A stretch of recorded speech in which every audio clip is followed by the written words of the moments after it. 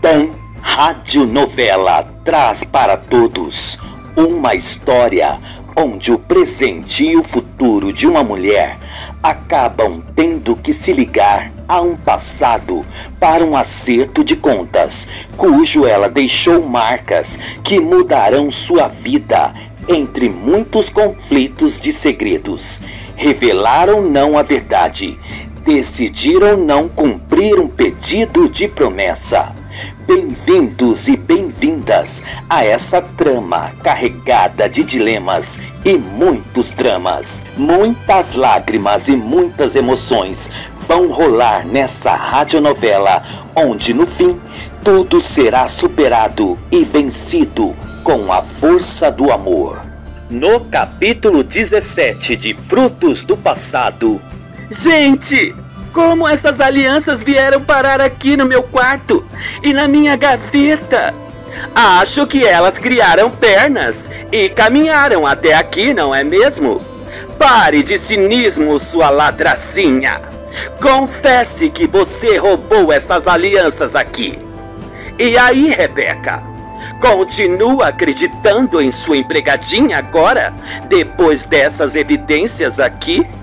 Frutos do Passado, capítulo 18. Todos olham para a cara de Drica, que fica pálida com a situação que se encontra, e diz: Rebeca, eu juro para você aqui e para todos que eu não peguei essas alianças. Regis, eu não peguei essas alianças e eu nem sabia dessa surpresa que você iria fazer para Rebeca. Gente, tomem uma atitude. Essa mulher é uma ladra. Vão ficar com essas caras de paspalhos vocês dois? Ande, Rebeca. Tome uma atitude. Mande essa larápia embora. Diz Donivete, ordenando. Chega! Chega, mamãe! Irrita-se Regis, enquanto Drica chora. Mas, filho, essa empregadinha é uma ladra. Vai ficar acreditando, Rebeca, nas lágrimas de crocodilo dessa gatuna safada? Ah, eu no seu lugar, além de mandá-la embora, chamaria a polícia. Deus me livre, por isso que eu não tenho empregadas, diz Donivete. Chega, Donivete, chega! Eu não vou fazer nada disso do que a senhora está falando. Não vou mandar a Drica embora e muito menos chamar a polícia para ela antes de eu ter uma conversa séria com ela. Eu e a Drica temos muito o que conversar. Bem, peço a todos desculpas por esse entrevero, pedindo licença para que eu possa conversar a sós com a Drica, diz Rebeca. Vamos indo embora então, filho. Vamos, Araci. Olha, Rebeca, não caia na conversa desta ladrazinha sem vergonha. Não se deixe enganar. Não se deixe ser levada no bico. Diz Donivete. Meu amor, tudo vai ser esclarecido, tá? Idrica, tudo vai dar certo. Acho que vamos encontrar uma explicação para esse lamentável fato que ocorreu. Não é mesmo, mamãe? Diz Regis que termina em perguntar, olhando bem sério para a cara da mãe, que responde timidamente: É, é, é sim. E Rebeca, vamos indo também, tá? Tirando isso que aconteceu, tudo foi muito agradável. Vamos, Ingrid, diz Marcelo, que se prepara para se retirar com todos. Vamos sim. Tchau, gente. Olha, resolvem tudo numa conversa civilizada e sem briga, tá? Diz Ingrid. Pode deixar, Ingrid. Eu e a Drica vamos ter uma conversa bem esclarecedora. Vamos descobrir o que aconteceu diz Rebeca, cujo Donivete engole seco, meio preocupada. Tchau, gente! Vai dar tudo certo, diz Dona Araci, que se retira. Tchau, meu amor. Beijos. Depois me mande notícias, tá? Diz Regis, que dá uma bitoca na amada e se retira com todos. Tchau, meu amor. Tchau, gente. Obrigada. Todos enfim se retiram, indo embora. Rebeca fecha a porta, muito entristecida pelo ocorrido, e olha para Drica, que continua a chorar, e diz: Rebeca, você e os meninos aqui presentes têm que acreditar em mim. Tudo foi uma armação da Donivete. Peraí, Drica. O que você está falando é muito sério. Armação da Donivete? Espanta-se Rebeca. Se você não acredita nisso, então acredita que fui eu quem roubou as alianças? Diz Drica, que termina em perguntar. Claro que não, Drica. Mas eu quero entender esse quiprocó todo, sabe? Eu tô muito confusa. Necessito de explicações. Diz Rebeca. Tia, eu não duvido nada que Dona Ivete possa estar por detrás de tudo, ainda mais se o Tommy atacou ela diz Tiffany. Mas o que tem a ver o Tommy nesta conversa, minha sobrinha? Pergunta Rebeca. Tia, os gatos percebem a aura de uma pessoa e o Tommy não enxergou boa coisa na Donivete, diz Davi.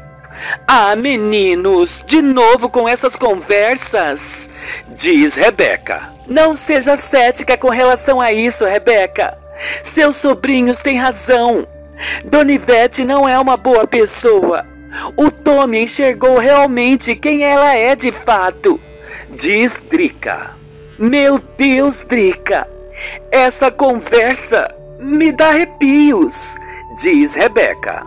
Dona Ivete jogou muito sujo contra mim, Rebeca. Diz Drica. Mas por quê? Pergunta Rebeca, muito intrigada. Bem, eu vou contar tudo o que eu descobri dela com relação àquele dia que eu fui ao supermercado e a encontrei com a amiga. Diz Drica. Tá legal, Drica. Nos conte tudo então. Somos todos ouvidos, diz Rebeca. Ok, prestem atenção, diz Drica. Vai, Drica, conte logo, tá nos deixando apreensivos, diz Tiffany. Eu tô aqui numa ansiedade sem igual, diz Davi. Bem, no supermercado, quando eu encontrei Dona Ivete com a Dona Araci, eu as cumprimentei. E assim que fui virando o meu carrinho, indo para o outro corredor de produtos, escutei a conversa das duas amigas que, enfim, Drica termina de contar tudo, sem deixar nenhum detalhe sequer de fora. Meu Deus, Drica! Então quer dizer que Donivete estava torcendo para que o jantar desse tudo errado? Espanta-se Rebeca, terminando em perguntar. Isso mesmo! E ainda mais pelo descontentamento de que o filho havia comprado alianças de namoro. Responde Drica. Nossa! E a Donivete então não gosta da minha tia. E ainda mais por ela criar filhos que nem são dela, diz Tiffany. Sim, garotos, diz Drica. Tia, nos desculpem por ser fardos na sua vida, viu? Diz Davi. Parem com isso, garotos. Vocês são minha vida, diz Rebeca. Mas em compensação, Dona Ivete não quer que o filho dela se envolva com a senhora tia. Ela não te aceita porque não quer ver o filho dela criando filhos que não são dele. Diz Tiffany. Que mulher falsa, misericórdia! Indigna-se Rebeca. Tia, eu vou pegar o Tommy Diz Davi que se aproxima na sacada e enfim pega o gato no colo, se aproximando e dando continuidade na conversa. Olá, bebê! Você então foi o primeiro que percebeu que a Donivete não é uma boa pessoa, né? Diz Rebeca que pega o gato que mia do colo do Davi. Esse danadinho percebeu. E o pior é que ela tá com um ódio tão grande dele por ele ter arranhado o rosto dela e ter deixado cicatrizes. Temos que protegê-lo, Rebeca. Diz Drica. Claro que sim. E ainda mais que descobri que Donivete tá com ódio dele e até chamou ele de maldito gato chechelento. Agora que ela não chegará perto dele mesmo. Ah, chamar você de excelento e fazer mal para você não pode não, né, meu bebezinho? Diz Rebeca, fazendo carinho no gato que mia. E além de tudo isso, te chamou de insossa, né, Drica? Pergunta Tiffany. Isso mesmo. E depois que eu ouvi tudo, Desmascarei Donivete e falei na cara dela que iria contar tudo o que eu tinha ouvido para você, Rebeca. Ela ficou apavorada. Cheguei até encurralar ela, dando até domingo para ela se expor, revelando os verdadeiros sentimentos dela contasse que não estava feliz com o envolvimento do filho dela contigo e ainda mais criando filhos que não são dele e com um gato que você tem a tiracolo, cujo arranhou o rosto dela deixando cicatriz. Diz Drica contando. Meu Deus, Drica! Você já deveria ter me contado logo tudo isso. Essa Donifete é uma cobra peçonhenta. Meu Deus, que sogra que vou ter no meu caminho. Juro que não desejo uma sogra dessa para nenhuma mulher que está para se casar, diz Rebeca. Então, né? Eu dei o prazo para ela. E ela até me transpareceu tão convincente, dizendo que até depois do jantar iria se abrir com você e o Regis sobre o descontentamento da união de vocês, mesmo sabendo que nada iria mudar por ela não aprová-los juntos. Enfim, eu acreditei nela, mas não poderia imaginar o que estava por detrás de tudo, sabem? Não poderia imaginar que ela estava preparando um bote bem dado em cima de mim. Ela armou tudo bem feito, que o próprio Regis caiu feito um patinho, e eu, na situação, fui a ladra que ela desenhou. Diz Drica. Mas essa história não vai ficar assim não, Drica. Temos que virar o jogo. E se a Dona Ivete acha que ficará com a máscara de dissimulada pra cima de mim, ela tá muito enganada. Eu vou desmascará-la. Mas claro que não vou sujá-la com Regis. Vou deixar que o filho veja sozinho que tipo de mãe ele tem. Diz Rebeca, bem determinada.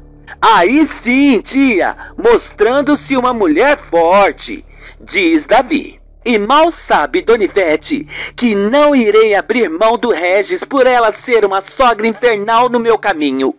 Agora sei que minha inimiga tá declarada. Sei que minha inimiga tem rosto. Sei que ficarei muito atenta se acaso ela vir com armações tentando me separar do filho dela. Diz Rebeca, com sangue nos olhos. O Regis não é bobo, Rebeca. Tudo isso que aconteceu hoje à noite, ele ligará os pontos e vai sacar que a mãe armou tudo. Diz Drica. Essa Donivete tá é vacilando. Vai chegar um dia que ela poderá perder o amor do próprio filho, agindo como ela está agindo. Diz Tiffany. Infelizmente, pode acontecer isso sim. Mas de coração, eu não desejo isso. Por mais que filhos possam ser errados, mãe e pais possam ser errados, me dói o coração e alma de saber que filhos e pais estão separados, sejam por qualquer motivo, diz Rebeca com os olhos lacrimejados. Tia, a senhora é uma mulher muito especial, tem uma grande nobreza no teu coração, vai ainda poupar Donivete com o filho, diz Davi. Isso mesmo. E sabem no que eu pensei? Vou dizer que te perdoei, Trica. Diz Rebeca. Mesmo assim ficarei sendo uma ladra, Rebeca. Diz Drica. Ao menos para o Regis, para não colocá-lo contra a mãe. Diz Rebeca. Donivete livra a cara com o Regis e eu ainda sou vista como ladra por ele. Ai, que situação, Rebeca! E minha dignidade como fica? Eu nunca furtei nada de ninguém. Diz Drica, aflita. Me perdoe, Drica. Ah, sinceramente, eu não sei o que eu faço. Não queria colocar filho contra mãe.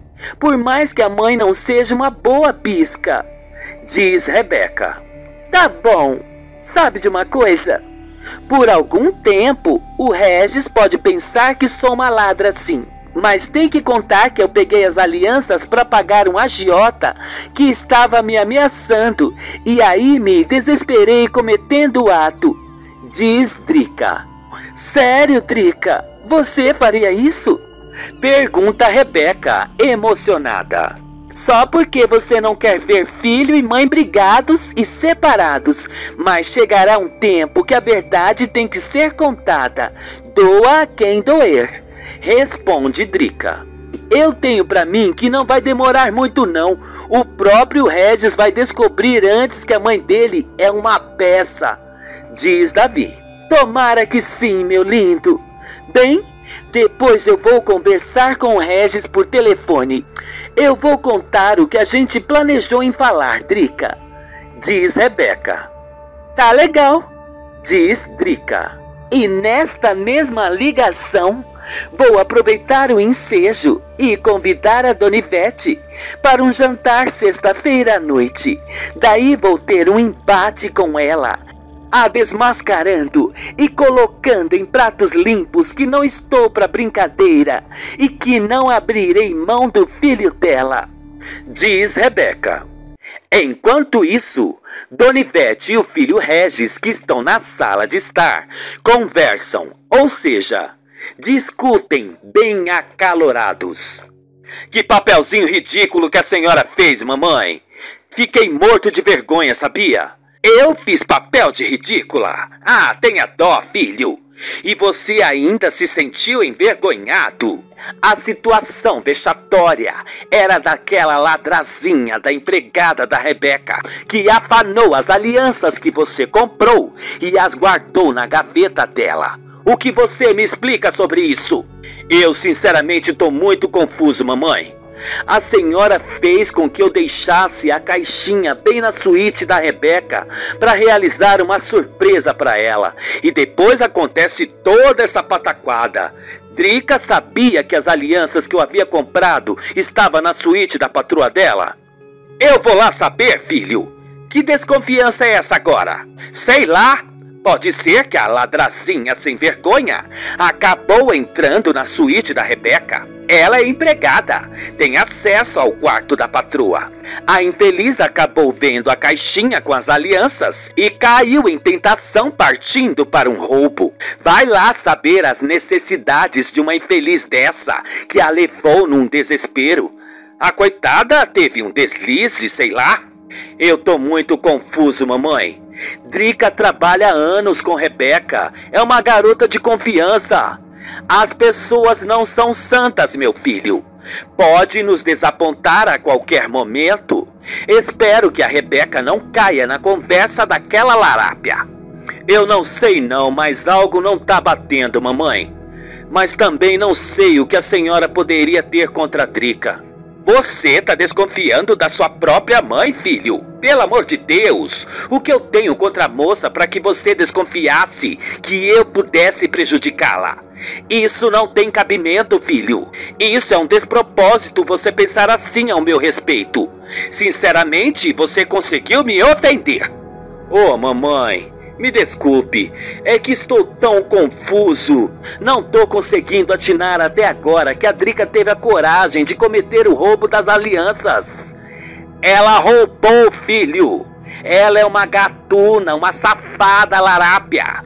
Rebeca vai acabar passando um pano quente e perdoar a empregada dela. Escute que estou lhe falando. É preocupante, filho. Muito preocupante. A verdade vai aparecer vai aparecer. Ah, meu Deus! Instantes depois, Regis, que está em seu quarto, escuta seu celular vibrar e atende olhando o visor. Oi, Rebeca, tudo bem? E como foi a situação com a Drica? O que resolveu? Ah, meu amor, que situação, né? Mas e aí? Tá tudo bem. A questão que foi a Drica mesmo que pegou as alianças. Você responde que tá tudo bem. A sua empregada é uma ladra, Rebeca. Minha mãe tem razão.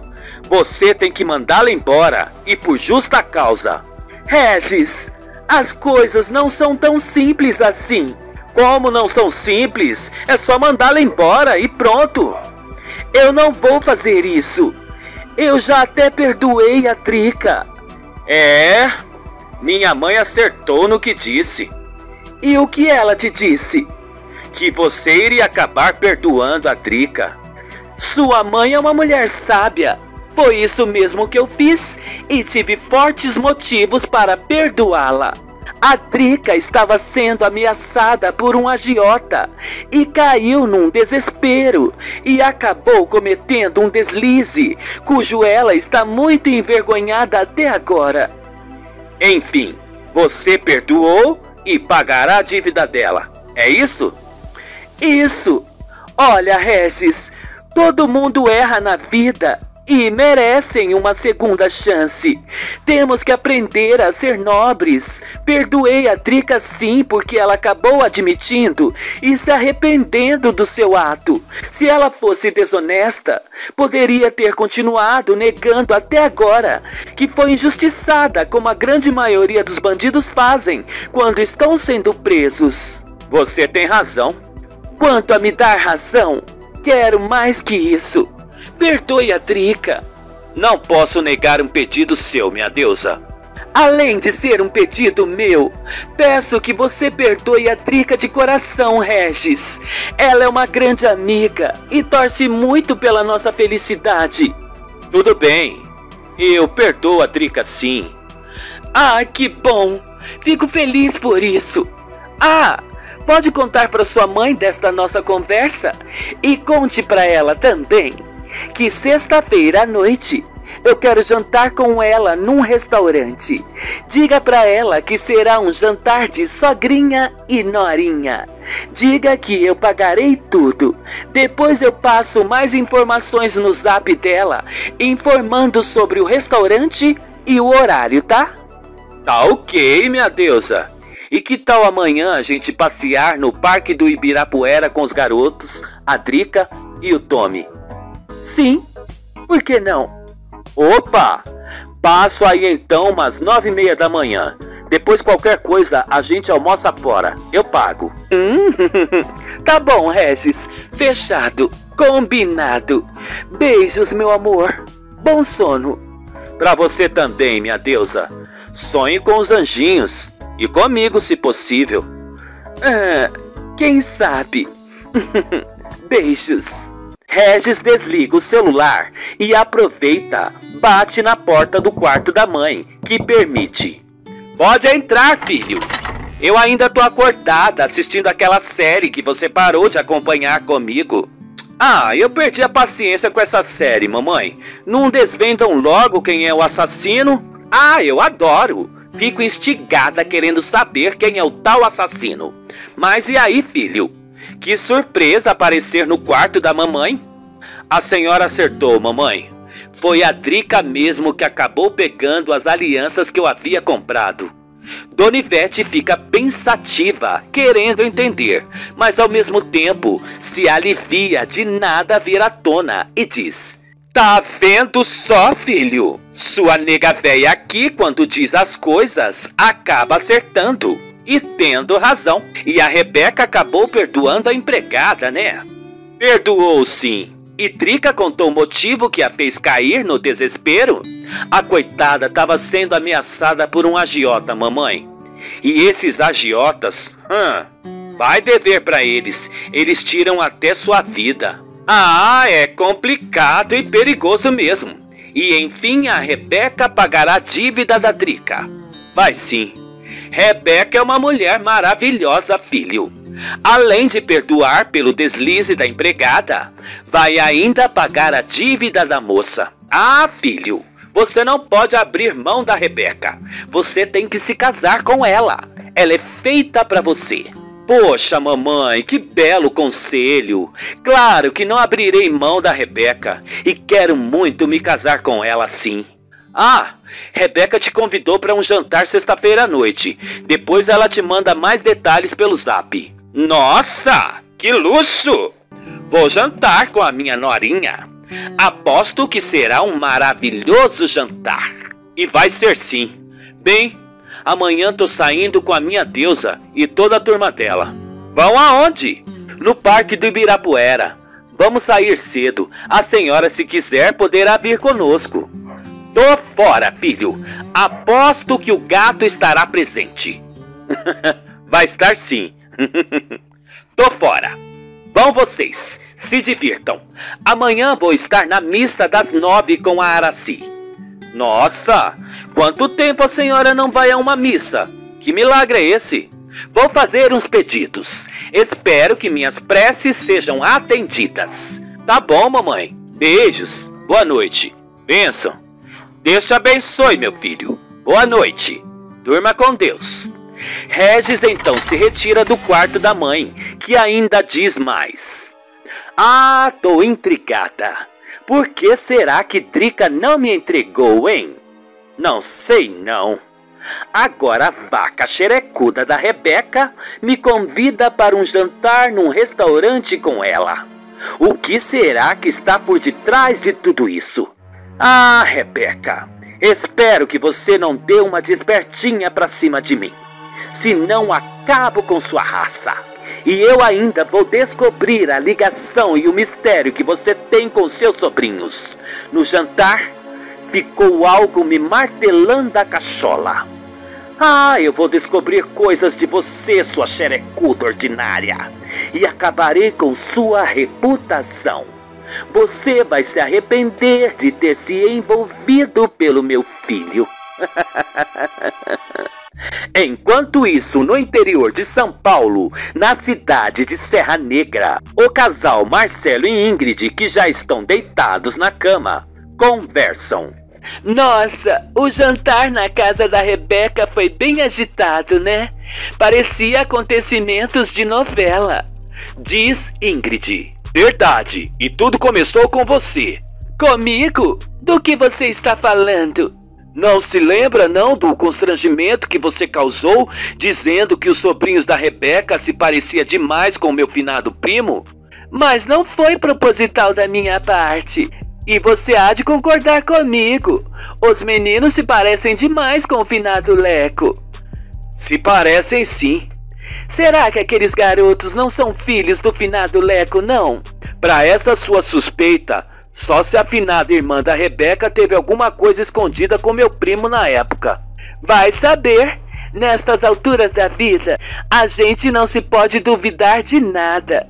Você tá colocando em xeque a integridade moral da irmã da Rebeca? Tá dizendo que ela pôde ter traído o marido? Estou sim. E ainda te digo mais: às vezes, numa única escapadinha, a irmã da Rebeca pôde ter engravidado. Isso pode acontecer. Ah, aqueles meninos se parecem demais com seu primo, Marcelo. Tá legal. Agora você há de convir comigo que o sumiço das alianças que o namorado da Rebeca comprou e depois apareceram no quarto da jovem Trica foi muito estranho, não foi? Bote estranho nisso. E a garota ainda jurando que não sabia como as alianças foram parar na gaveta do quarto dela. E Dona Ivete, você reparou que mulherzinha intempestiva? Parecia uma inquisidora caindo na carcunda da moça. Meu Deus, que que era aquilo? Muito constrangedor. Você acha que a Drica roubou as alianças? Olha, eu sinceramente não tenho outra explicação. Acho que foi ela sim. Mas por mais errada que ela foi, eu não tô querendo justificar. Ela deve ter tido um motivo que a levou a cair num desespero, cometendo o ato falho. Ai, ai, ai. É bom a gente nem julgar, sabe? Mas acho que não precisava todo aquele circo que a Dona Ivete causou, não. A mãe do Regis ela parece ser uma mulher sádica. Parecia que ela estava numa ânsia de provar algo e constranger a pobre Drica. Aquela coroa estava era se deliciando com o espetáculo que estava causando. Não precisava tudo aquilo não. Chamasse a moça no particular. Exato, mas a coitada da Drica ficou enfurecida sendo acusada. Mas tá aí uma coisa que tá me deixando encafifado. Drica parecia não saber das alianças no quarto dela. Ah, tá tudo muito estranho, sabe? Espero que Rebeca e a jovem se acertem. Eu acho que elas podem se acertar sim. Bem, melhor a gente dormir. Já tá tarde. Mas já quer dormir? Pensei que a gente fosse namorar um pouquinho. Eu tô cansada. Não tô no clima, não. Diz Ingrid que vira de lado, ignorando o marido. No outro dia, no parque do Ibirapuera, Regis e sua deusa Rebeca estão na companhia de Davi, Tiffany, Drica e o gato Tommy. Todos caminham. Rebeca, com o gatinho no colo, puxa a conversa. Ah, esse dia está sendo muito agradável. Que belo domingo ensolarado. E não posso esquecer que estou com a minha aliança de namoro nessa minha mãozinha aqui. Obrigada, meu amor. Finaliza a jornalista, mostrando uma das mãos com a aliança de namoro e dando uma bitoca no amado. Eu também estou com a minha aliança, minha deusa, cujo está gravado o seu lindo nome. Diz Regis que abraça a amada, cujo gato, Mia. Não fique com ciúmes, bebê. Não fique com ciúmes. A mamãe te ama também, diz Rebeca. Mais uma vez quero agradecer vocês dois por terem me perdoado. Eu fui horrível. Deveria ter sido sincera. Não precisava ter feito o que eu fiz. Diz Drica que troca olhares cúmplices com Rebeca e os garotos. Drica, águas passadas, tá? Não se atormente. Você se arrependeu. Isso é o que importa. Bola pra frente, tá? Vamos seguir a vida sem olhar para trás. Agora vamos nos divertir. Hoje é domingão, gente. Diz Regis, terminando numa animação. Uhul! Ô tia, eu e o Davi podemos dar umas voltinhas de patins? Pergunta Tiffany. Ah, meninos, cuidado, hein? Fico preocupada, diz Rebeca. Não precisa ficar preocupada, tia. Eu e a Tiffany andávamos de patins lá no Parque de Monte Alegre do Sul com o papai. Olha que somos feras, viu? Diz Davi. Tá bom. Se estão dizendo, eu acredito. Eu só não quero que vocês caem e se machuquem, meus amores. Diz Rebeca. Deixe os meninos, Rebeca. Vá, garotos, coloquem seus patins e botem pra quebrar, diz Regis, animado. Enfim, depois de terem colocado os patins nos pés, o casal de irmãos desfilam com suas desenvolturas, correndo ao redor do casal e de Drica, que segura o gatinho no colo. Olha, não é que os danadinhos são bons mesmo? Diz Rebeca, olhando feito mãe coruja para os filhos. Enquanto isso, Dona Ivete e Dona Araci saem da missa e logo em seguida adentram num veículo de aplicativo voltando para suas casas. Dentro do carro, as amigas conversam. E o que achou da missa, Ivete? Gostou? Sinceramente, achei um novo padre, literalmente falando, novo. Como assim, mulher? Muito novinho, Araci. Acho tão estranho padres novos. Olha o preconceito, mulher. O motorista dá seu pitaco na conversa, dizendo: Hoje em dia temos muitos padres novos e são muito competentes, viu? Senhor, não me leve a mal, mas o senhor é pago para dirigir, não para cair de paraquedas nas conversas dos seus clientes. Diz Dona Ivete, rispidamente. Credo, Ivete, que grosseria com o rapaz. Meu jovem, desculpa, tá? Essa minha amiga é grossa mesmo. Me desculpe. Diz Dona Araci com um ar de repreensão com a amiga e se retratando ao mesmo tempo para o motorista que diz, relevando: Tranquilo, senhora. Ai, Ivete, que vergonha, mulher. Ah, bem, Tirando um pouco o meu descontentamento com o padreco novinho, aproveitei e fiz um pedido. Espero que Deus atenda as minhas preces. Ai meu Deus, o que você pediu?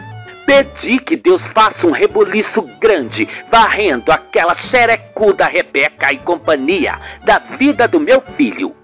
Que pedido louco, Ivete! E você acha que Deus vai atender isso? Claro que sim! É um pedido de uma mãe. Deus escuta e atende sim um pedido de uma mãe. Não sei o que eu te digo, Ivete, mas você está me assustando, mulher. Foi você que armou pra coitada da Drica, né? Foi sim, eu confesso. Também aquela peitinho de limão seco não deveria ter batido de frente comigo. Ah, querendo pagar de moralista, me dando lição de vida. Eu te disse, Araci, que eu iria reverter o jogo. Fiz o que eu fiz e não me arrependi de nada. Sua louca! E surtiu efeito tudo que você armou? A xerecuda da Rebeca não mandou a peitinho de limão embora, não. Perdoou a jovem. Mas estou intrigada com uma coisa. Com o que, mulher? Drica não me entregou para Rebeca.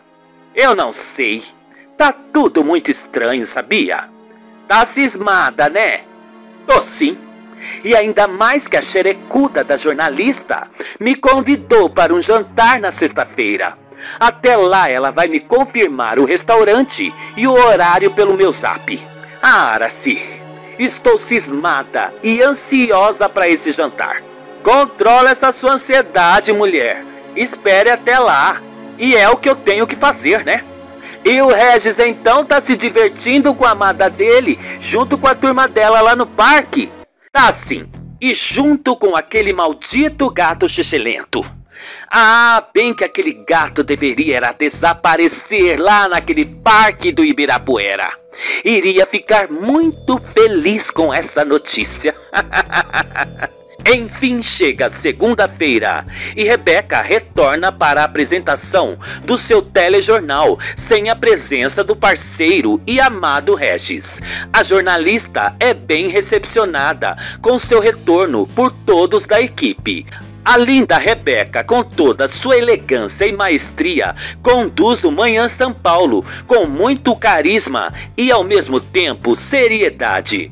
No novo colégio, cujos irmãos Davi e Tiffany, que chegam com Drica, enfim são conduzidos até a sala de aula. Os irmãos conhecem um dos professores, que no caso é um professor de língua portuguesa. Davi e Tiffany se apresentam para a classe cujo todos os coleguinhas saudam boas-vindas e eles se sentam em suas carteiras.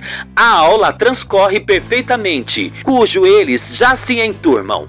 Já a Regis estreia no Jornal da Tarde, cujo agrada na audiência com seu profissionalismo. A mãe Ivete o assiste toda orgulhosa. Dias depois, numa sexta-feira à noite, Dona Ivete e Rebeca se encontram num restaurante. A jornalista e a senhora são conduzidas até uma mesa pelo garçom, que deixa cardápios nas mãos delas. Ah, que restaurante chique, Rebeca! Eu adorei. Fiquei muito contente quando você me confirmou pelo zap que era aqui. E esse horário tá perfeito, às sete da noite. Ah, que bom saber que tô agradando a minha sogra. Você é uma mulher maravilhosa, Rebeca. Você é uma nora perfeita. É a mulher que eu pedi a Deus para o meu filho. Ah, que bom saber disso. Acredite, minha linda. Quero mais que tudo a felicidade do meu filho ao seu lado. Tá certo. E então, já escolheu o teu prato? Quero um dos pratos mais caros daqui. Você tem dinheiro para pagar, não tem? Peça o seu prato, Dona Ivete. Ah, sabia! Quem convida tem que bancar o convidado e não pode chorar. Rebeca e Dona Ivete fazem os pedidos e enfim começam a degustar seus pratos. Tá gostando do seu prato caro, Dona Ivete? Hum, tô amando. Eu sou uma mulher de paladar refinado. Adoro comer bem. Adoro tudo que é do bom e do melhor. É bom sim comer um maravilhoso prato na excelência da qualidade, não é mesmo? Sim, e ainda mais quando temos condições e somos merecedores das coisas boas. E a senhora acha que é uma pessoa merecedora, não é mesmo? Sou sim, e ainda mais que sou uma maravilhosa mãe para o meu filho. Torço muito que ele seja muito feliz na vida dele. Tenho que admitir, A senhora é uma mãe super protetora com Regis. Acho que a senhora seria até capaz de tirar qualquer mulher que não caísse no seu agrado da vida do seu filho, não é mesmo? Ah, que isso, Rebeca? Não é para tanto, minha linda. Mesmo que não me agradasse com a escolha do meu filho, eu não teria o direito de tirar nenhuma mulher da vida dele. Você, por mim, tá super aprovada. Ah, que bom saber disso. Porque agradando ou não, eu não vou abrir mão do seu filho. Quero até me casar com ele, Dona Ivete. O Regis entrará numa família cujo criará filhos que não são dele. No caso, são os meus sobrinhos, e nisso tudo ele ficará também pertinho do meu gatinho Tommy, que lamentavelmente arranhou o rosto da senhora. E perto da minha empregada Drica, que foi até chamada de insossa, e que descobriu que a senhora é uma falsa, uma mentirosa, uma dissimulada. Dona Ivete arregala os olhos espantada e diz: O que é isso? Meu Deus! Vamos pôr as cartas na mesa, Dona Ivete. Chega de fingimento pra cima de mim. Tá na hora da senhora tirar essa sua máscara. Me diga a verdade. Diga que não me quer ao lado do seu filho. Diga! Vamos! Estou esperando! Próximo sábado continua nas muitas emoções para o capítulo 19.